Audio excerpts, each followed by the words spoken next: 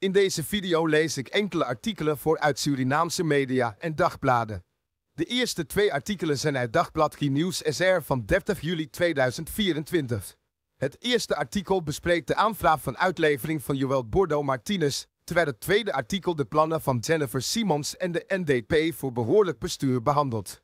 Het derde artikel uit Dagblad De Waardetijd van 29 juli 2024, geschreven door John Slagveer, bespreekt de problemen en prioriteiten in kolonie.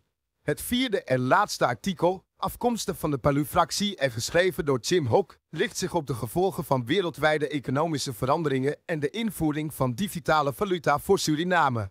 Deel je mening over deze stukken in de reacties volgens de richtlijnen. De eerste twee stukken stammen uit Dagblad Nieuws SR van 3 juli 2024. Stuk nummer 1 heet Advocaat Bordeaux. Erwin kan hij niet op de hoogte van aanvraaguitlevering om. Ik zal lezen wat er vermeend wordt in dit stuk. De advocaat Erwin Canai van de in Brazilië aangehouden Joël Bordeaux Martinez was niet in kennis gesteld dat het Openbaar Ministerie voor uitlevering heeft gevraagd van Martinez. De advocaat gaf aan dat hij heeft moeten vernemen over de aanvraag in de media en is aangegeven dat Suriname hoopt op medewerking van Brazilië om Martinez uit te leveren. Kanai gaf aan dat de aanvraag voor uitlevering hoogstwaarschijnlijk is gedaan door de staat Suriname op advies van het Openbaar Ministerie. Er bestaat zoiets als de verzoeken misdaad als verdrag, maar het proces in Brazilië moet worden afgerond voordat de uitlevering kan geschieden, zegt Kanai in gesprek met Mante Taki.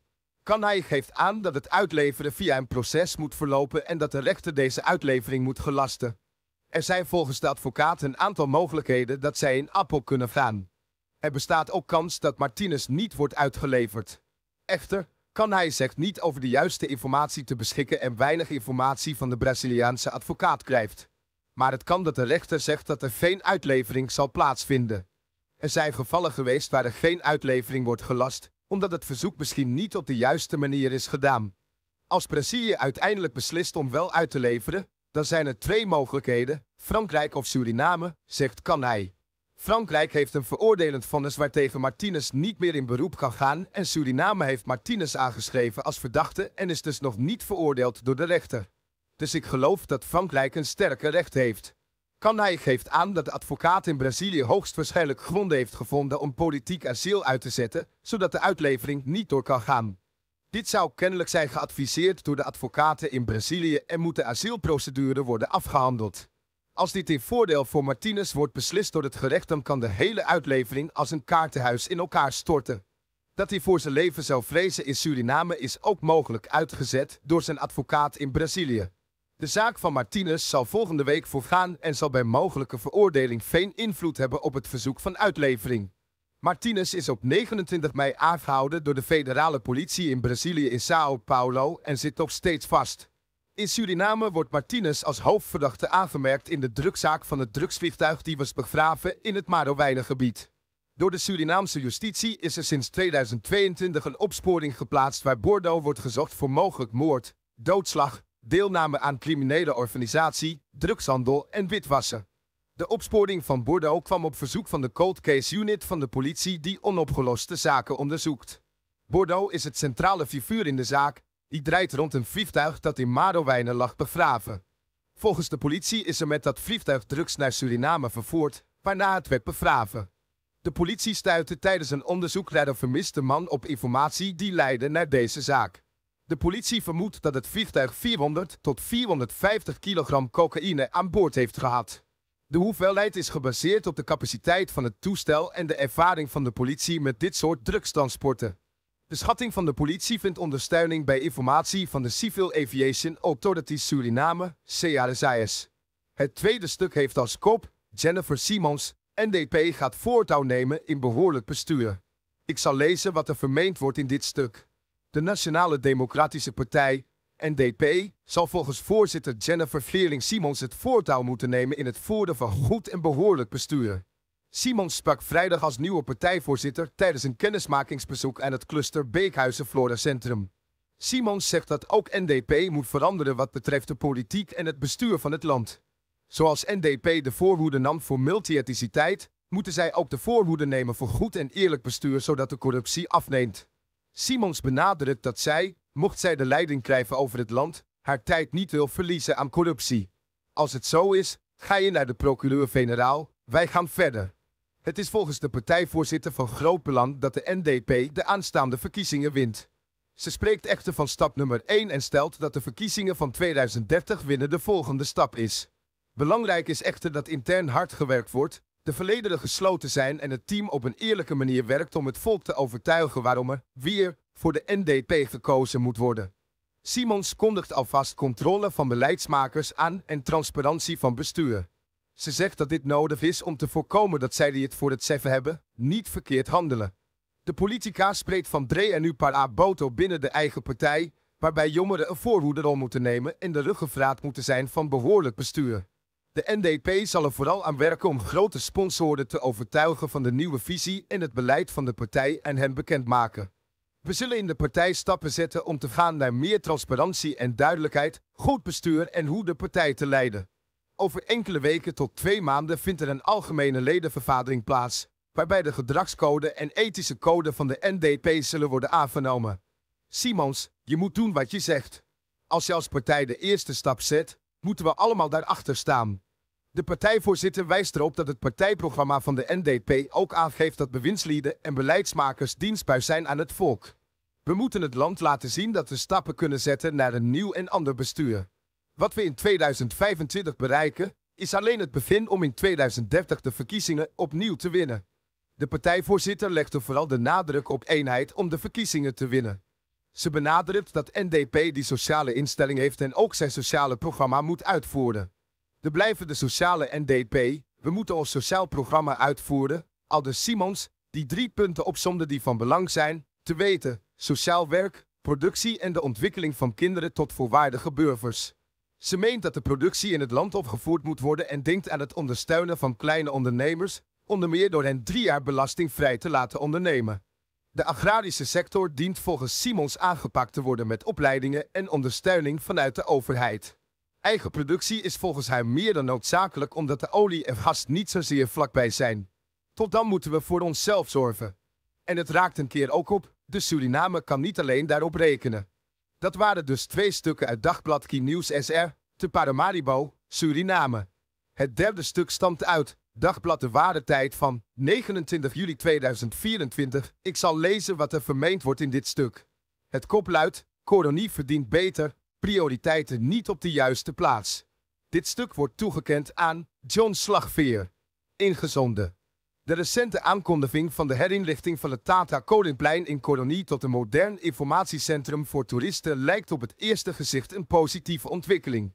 Echter, een diepere beschouwing onthult dat er in Colonie dringendere zaken zijn die voorrang zouden moeten krijgen. Het district kampt al jaren met ernstige problemen die direct van invloed zijn op het welzijn van de bevolking, maar die tot op heden weinig aandacht of actie hebben verkregen.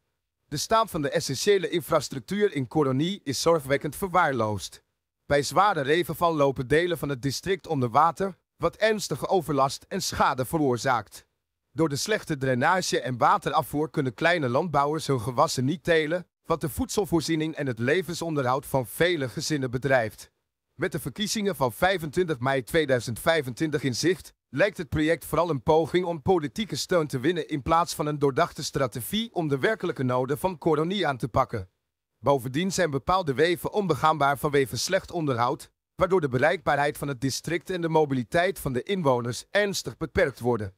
Dichtbegroeide weven maken het voor bewoners en boeren moeilijk om zich te verplaatsen, wat hun dagelijks leven en werk verder bemoeilijkt.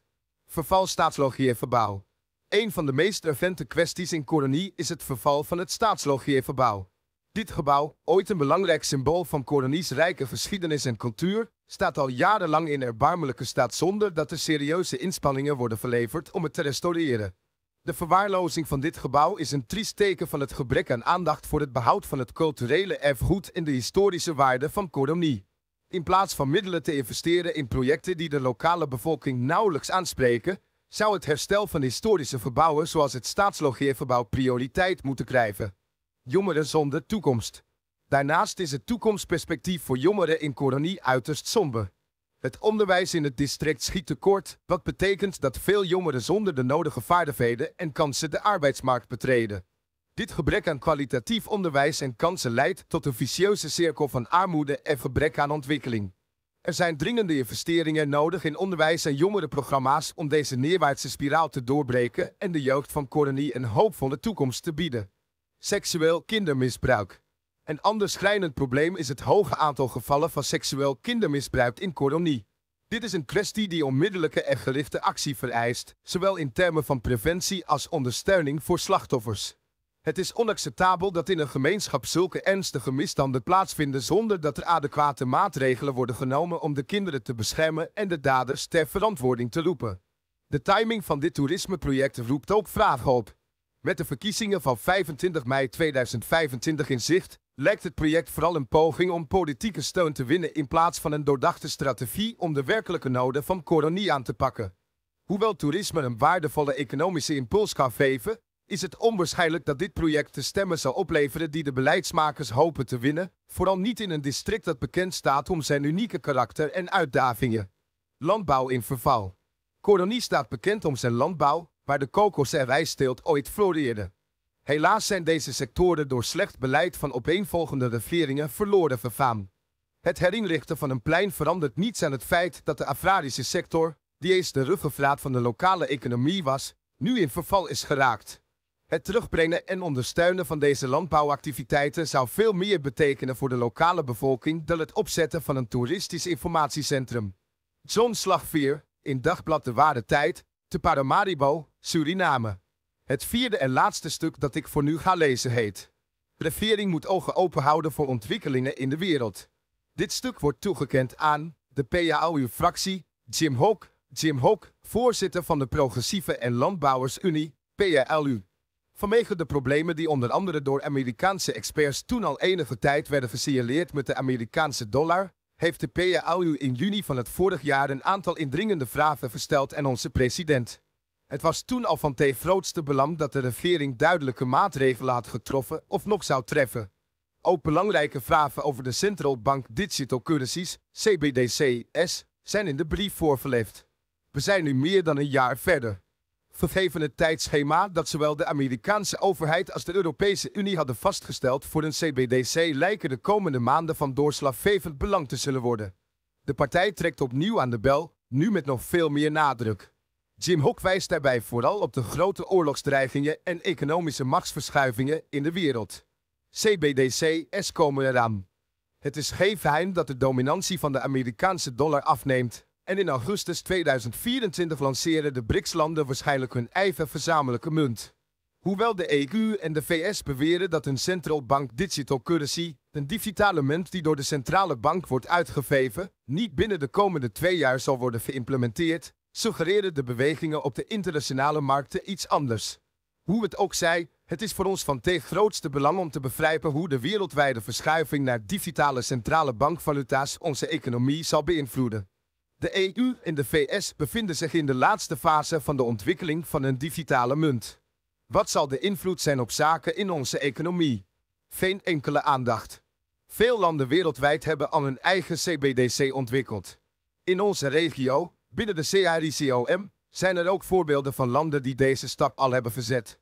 Omdat de regering de mond dicht houdt over dit onderwerp is het momenteel uiterst onduidelijk wat de positie van Suriname is ten aanzien van CBDC's.